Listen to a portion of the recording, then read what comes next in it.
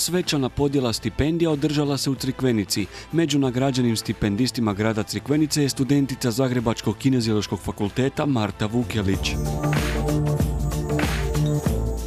Akademska i sportska postignuća Marti su donijeli stipendiju od 800 kuna mjesečno. Osjećaj izvrstan, primila sam stipendiju za izvrsnost, naravno za rezultate na fakultetu, sto imam i sportske rezultate. Državna, e, do 21 godine trostruka državna prvakinja sam bila, mnoge međunarodne medalje. Odlični akademski i sportski rezultati, izvrsnost i deficitarna zanimanja razlozi su zbog kojih grad Trikvenica tradicionalno svake godine u blagdansko vrijeme učenicima i studentima dodjeljuje stipendije. Ove godine dodijelili smo čak 52 što učeničke, što studentske stipendije.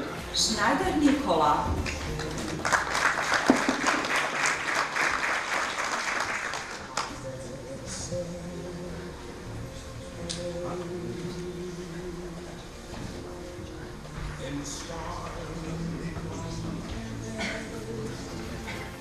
Stipendije se dodjeljuju u tri kategorije. To je naravno kriterij izvrsnosti, e, potom stipendije za deficitarna zanimanja i to specifično deficitarno upravo ona zanimanja koja su deficitarna za područje Primorsko-Goranske županije i specifično za područje grada Crikvenice, te isto tako stipendije izvrsnim učenicima koji i studentima koji zadovoljavaju i socijalni kriteriji.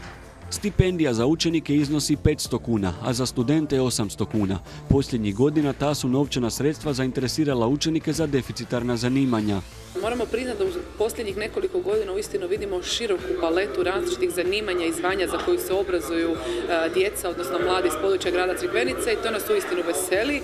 E, nekako su mladi prepoznali da će zasigurno u budućnosti posao lakše pronaći ukoliko se odluče upravo za ona zanimanja za koja je veća potražnja, upravo za ona zanimanja koja su deficitarna.